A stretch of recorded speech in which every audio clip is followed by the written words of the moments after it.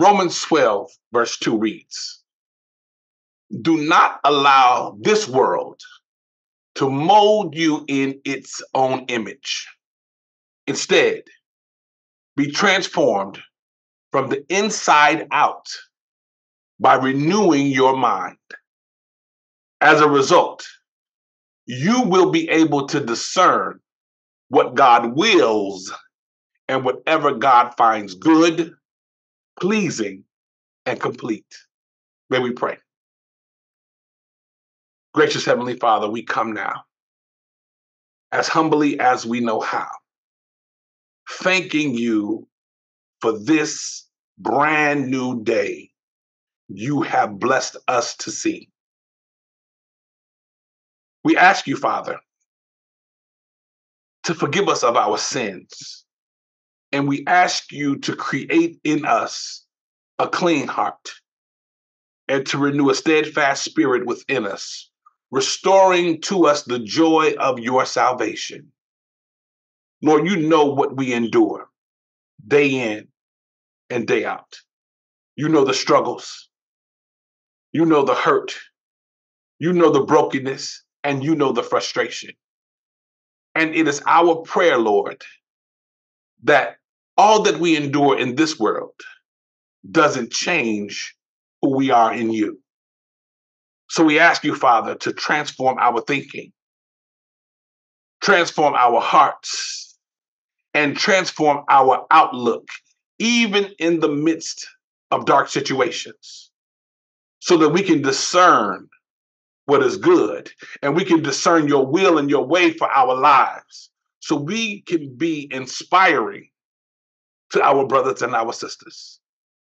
We ask you, Father, on today to bless those who are dealing with tragedy. We ask you to bless those who are struggling.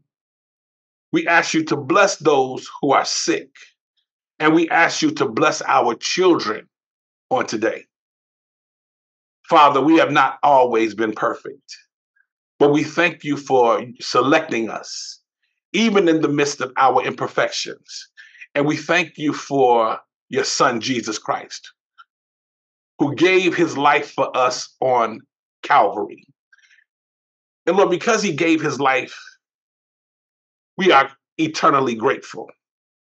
And because we are etern- eternally grateful, we are going to do our best to be our best so you get the glory, you get the honor, and you get the praise. So today, as we launch out, we ask you, Lord, to prepare our hearts and minds for what we are going to encounter in this world. We know that there are going to be struggles. We know that there is going to be opposition. We know that there are going to be haters, but Lord, we know on Christ, the solid rock we stand, all other ground is sinking sand. So we give this day to you. We give our lives to you, Lord, and we ask you to take the wheel.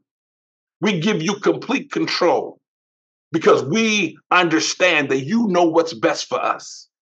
So we ask you, Lord, to give us a positive outlook as we prepare to go forth on today. We ask you to prepare us for service. And Lord, we ask you to protect us along the way. So we simply ask you to fall afresh in our lives. Continue to transform us into your image. And we will be so careful to give your name the honor, the praise, and to give you all the glory. And it is in Jesus' strong, loving, and matchless name we pray. Amen, amen, and amen. And remember, do not allow this world to mold you into its image. Instead, be transformed from the inside out by the renewing of your mind. God bless you.